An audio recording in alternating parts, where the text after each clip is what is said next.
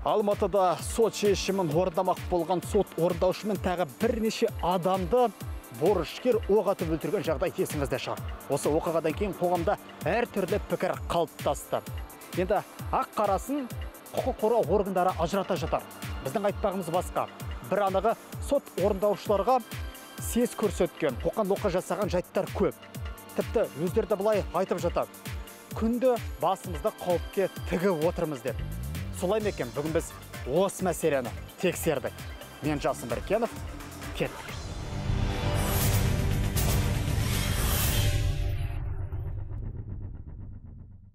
Сот орындаушылардың күнделікті жұмысын көрсетейік деп біз бүгін жеке сот орындаушы, е? Гүлшат ханыммен жолығып отырмыз. Ә, соттың шешімін орындау үшін Гүлшат ханым қазір Қосшығұлов көшесінің бойында орналасқан үйлердің біріне келіп отыр. Мұнда қандайсыз? бұл жерде бірнеше жыл бойы қасахан алимент төлемей жүрген қарызы үш миллионнан асып тұр екі қызына алимент төлемей өзінің бар мүлкін жасырып қашып жүрген бір борышкердің үйіне келдік Біз ондайды көкек академис, олай болса барып көреміз ба? Неге төлемей жүргенін сұрап білерік. Қазақстанда бүгінгі таңда қанша сот орындаушы бар, оның қаншасы жеке, қаншасы мемлекеттік сот орындаушы? Бүгінгі таңда ә, жеке сот орындаушылардың саны 2179 ә, жалпы ел бойынша. Ал мемлекеттік сот орындаушылардың саны 263 мемлекеттік сот орындаушылар қызмет жасайды. Алимент төлемей жүргендер көп пе? әрине өте көп алимент төлемей қашып жүрген борышкерлер өте көп Қалай ұстайсыздар оларды?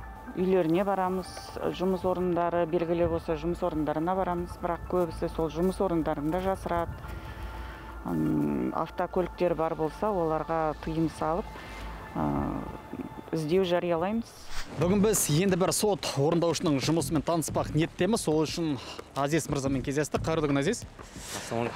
Ә, біз қазір қандай істі қараймыз?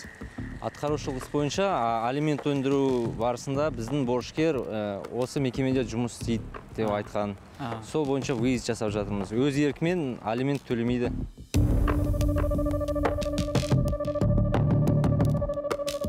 Сонымен жеке сот орындаушылардың жұмысы немен тиімді болды? Жеке сот орындаушылардың тиімділігі біріншіден ә, біз республикалық жеке сот орындаушылар палатасы талдау жасадық. Мысалы бұрындары 2010 жылдары бір мемлекеттік сот орындаушысы 270 атқару іс, ә, толығымен аяқтап бітірсе Бір жылда. бір жылда ә, нақты орындап сот шешімін бүгінгі таңда жеке сот орындаушысы 707 атқару құжаттарын нақты орындап ә, санымен қоса сапасын жақсартуда Бұл былтырғы көрсеткіш 2020 жылғы 2020 жылға иә сол, сол көрсеткішпен салыстырған кезде үш есе артып отыр ғой үш сонда. есе артып отыр Енді бір сандарды сөйлетелік. Сот орындаушылар жұмысы жекенің қолына тапсырылғаннан кейін ә, өндірілген қарыз көлемі жеті есе артқан екен. Мәселен, 2010 жылы мемлекеттік сот орындаушылар ә, 32 миллион теңге көлемінде қарызды қайтарып болса, 2020 жылы жеке сот орындаушылар өндірген ақша 240 миллион теңгеге тең болды. біз мына көршілеріңізге келіп тұрмыз сексенінші пәтерде. Танисыз ба ол кісілерді танымайсыздар ма не болды? Жоқ ол үйде қандай? Семья тұра ма жастар тұра ма? Байқамадыңыз ба? Күнделікті жұмыста қандай қиындықтарға тап боласыз? Несі қиын сот орындаушының? Ең басты қиындығы осы борышкерлерге хабарлама беру ғой хабарлама берген кезде қиындықтар болады. Олар қашып хабарламаны алмауға тырысады үйлеріне барсаң есіктерін ашпайды. Міне сот орындаушылар борышкерден қарызыңызды өтемейсіз бе деп осылай күнделікті ә, келіп отыратын көрінеді. Үйінде болса аша қоймас. Солай ма? Олар біледі ғой біздің келетінімізді сіздер келер алдында міндетті түрде хабарласып айтуыңыз керек ескерту керек пе жоқ әлде ескертпей келесіздер ма ескертпей келеміз көбінесе ескертпей келеміз өйткені ескертіп келсе олар міндетті түрде қашып кетеді ғой сот орындаушылар атқаратын істердің арасында ең жанжал тудыратын қандай істер бол бар ең жанжал тудыратын істер ә, ол борышкерлерді үй үй жайынан шығару туралы. Выселение дейміз ғой? Ең жанжал тудыратын ең жаңағы ә, ха- халық арасында дау дамайға тудыратын сот орындаушының сынға ұшырайтыны ә, көбіне осы жаңа үй жайынан шығару туралы. Осы жерде борышкерлер э, жұдырықпен жүгіреді иә? Иә. қол жұмсайды сондай.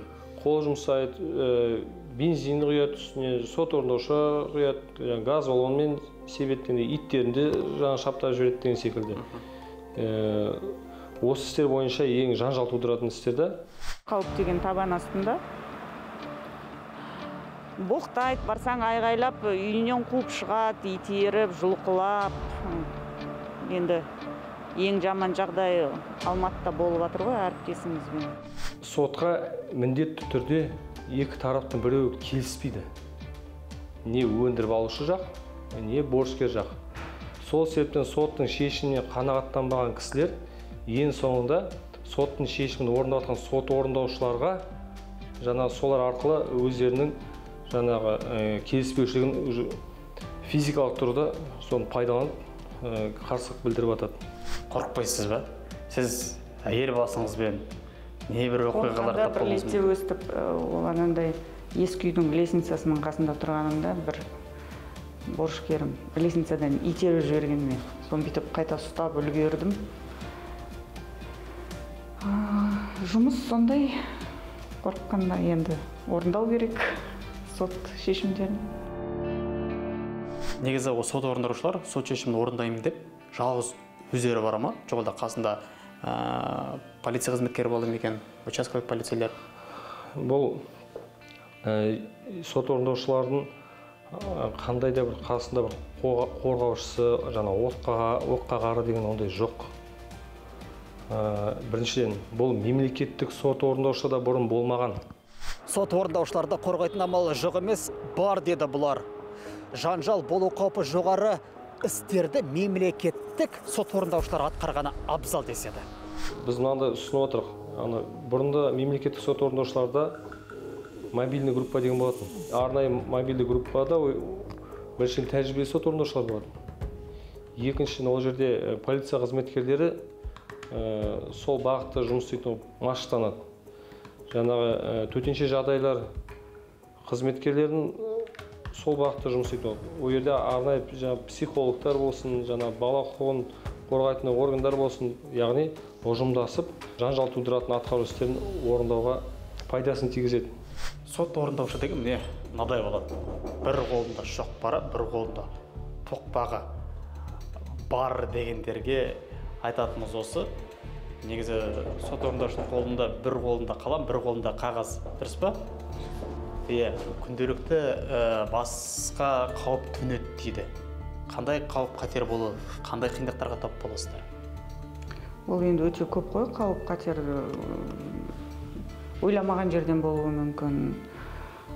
Кейбір адамдар түріне қарасаң сондай сабырлы адамдар сияқты болады бірақ сот орындаушымын деп әңгімені бастаған кезде тұра жүгіретіндер болады. Ауыздарына келгендерін айтып боқтайтындар болады. Жеке сот орындаушыларының қолында не бар? Тек қана заңда көрсетілген олардың қағаз жүзіндегі құзыреті бар да ал ә, тәжірибеде ода жаңағыдай қосымша бір мобильді группа жалдауға или тағы да басқа бір адамдарды ұйымдастыру оларда ондай мүмкіншілік оны қорғайтын полиция қызметкері жоқ дейсіз ғой. Иә. иә.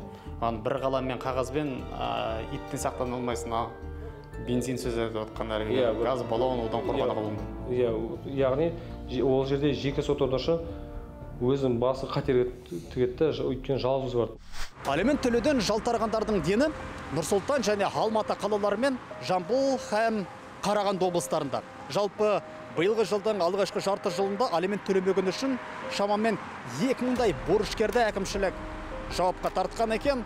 Бұдан бөлек ә, бір мыңнан астам қарызы бар азаматты қылмыстық жазаға тарту туралы ұсыныс жасапты. Сот орындаушылар. Шыны керек біздің өзіміздің жұмысымызды сот орындаушыларды көбісі ұнатпайды. Бірақ та түсінбейді да олар не үшін екенін. Мысалы алимент бойынша біз біз болмасақ басқа ешкім өндіріп бере алмайды да осы э, соттың шешімін.